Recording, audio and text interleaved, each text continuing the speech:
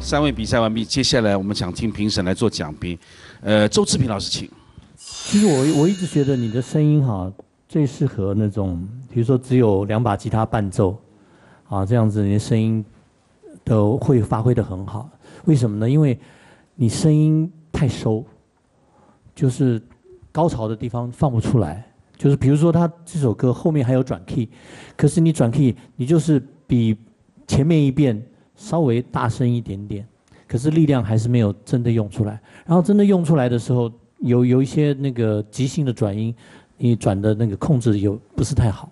啊，今天有一点小小的这个把握的不是太准确，这是很可惜的。谢谢。谢忠明老师，请多讲评。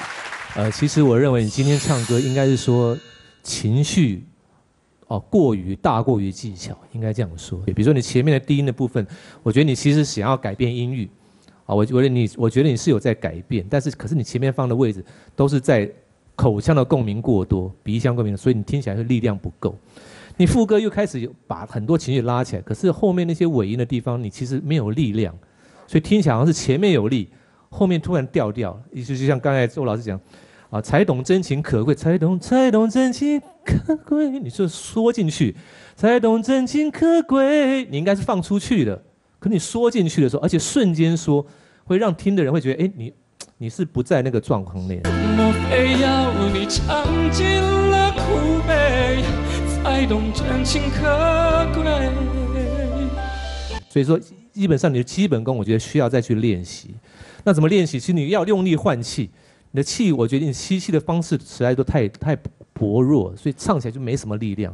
对你可能你怕，但是我觉得你真的是要用力。如果你再不用力，这样歌唱起来就变成说，你你好像在演这个演这首歌，但不是在唱这首歌。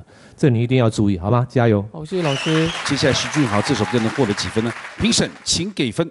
徐俊豪可以得到的分数是多少？七十八十九十。九十，停下来了，小数点持续在跑，一、二，还有没有？得到的分数是九十点二分。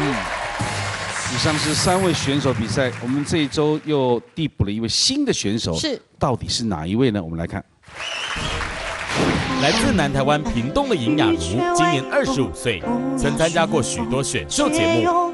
比赛成绩总是名列前茅，让他累积了不少死忠粉丝。非常喜欢唱歌的他，将对音乐的热爱搭上了时下最流行的网络直播，凭着优异的歌唱实力，让他的直播频道曾在短短一分钟内涌进了一千多人。女人啊，我们都曾经期待能嫁个好丈夫，林雅茹通过制作单位的初选，站上 Number One 的舞台。那我希望我自己在这个舞台上面可以学习到更多唱歌的方式，然后也可以就是每一次都唱的比上一次还要更好。他决心再给自己一次机会，对一百万的渴望，对音乐的执着，他能否打败卫冕者，成为真正的 Number One 呢？现在介绍我们的四号参赛者，尹雅茹带来的《梦一场》。